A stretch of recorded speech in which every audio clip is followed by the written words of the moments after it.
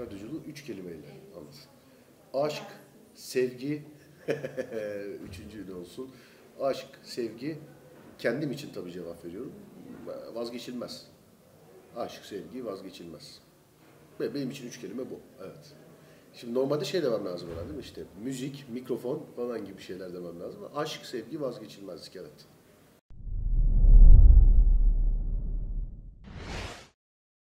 Şimdi e, ben televizyon programı da yapmış birisiyim. E, benim radyo programlarında ben ilk başladığım günden beri e, benim temel ana maddem mizah. E, ve mizah düzgün yaparsanız, iyi yaparsanız her yerde bu reaksiyonu alırsınız. Yani iyi reaksiyonu alırsınız. Ben radyoda yapmayı tercih ettim. Ama döneminde televizyonda yapmayı tercih etmiş olsaydım bu mizah programını zannediyorum yine aynısı olurdu. Fakat benim kendi seçimimdir radyo. Yani çünkü televizyondan radyoya geçmiş bir adamım ben. Yani normalde tabii bunun tam tersidir herhalde örneklerde. Ee, bir de çoğu radyocuya sorarsınız. İşte niye radyo programı diye. Ya işte bir gün televizyon programı yapacağım falanlar. Ben hiçbir zaman e, televizyona çıkmak için bir basamak, basamak olarak görmedim. Radyo programı yapmaya başladığım tarihlerde de televizyonda çalışıyordum zaten.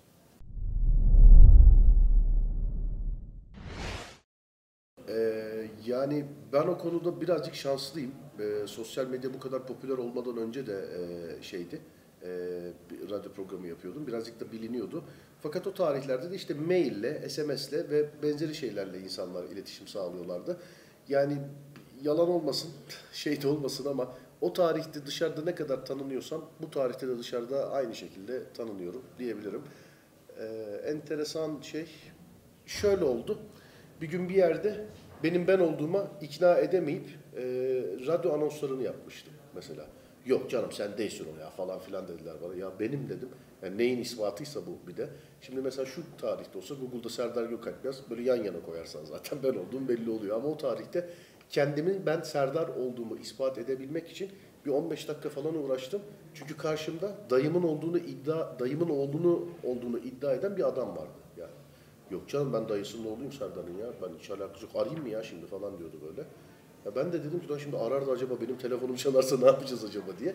Ee, bir 10-15 dakika benim ben olduğumu şey yapmaya, ispat etmeye çalıştım.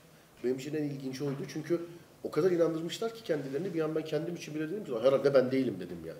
Bir an dedim ben değilim ama yani en, en ilginci o diyebilirim çünkü kendimi ispat etmeye çalıştım Serdar'ın Serdar olduğuna.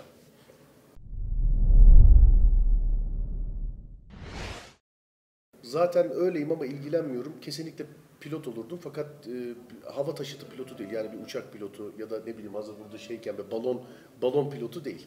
Motorlu taşıt pilotu, rally pilotu, F1 pilotu gibi bir şey olabilirdim. Amatör olarak da ilgilendim. Ama tabii öyle dünya klasmanına ya da herhangi bir Türkiye derecesine falan girebilecek kadar bir vaktim olmadı. Fakat amatör olarak evet şu anda yarış pilotuyum zaten. Ama mesleğim bu olmasaydı profesyonel anlamda sadece yarış pilotluğu yapardım. Sevdiğim bir iştir çünkü. Bundan önce söylemiş olduğum her şeyi iyi dinleyin, hadi güle güle yani. 15 dakikada, çünkü 20 yıl 15 dakikada anlatmak birazcık problem olur. Ee, 20 yıl 15 dakikada anlatmak. Bundan önce zaten her şeyi anlattım derdim. Ee, çok da böyle bir şey anlatmaya girmezdim. Şarkı çalardım herhalde. Çünkü ya benim programın açılışı bile 25 dakika süren bir adam olarak 15 dakika çok bir şey sığdıramazdık diye düşünüyorum.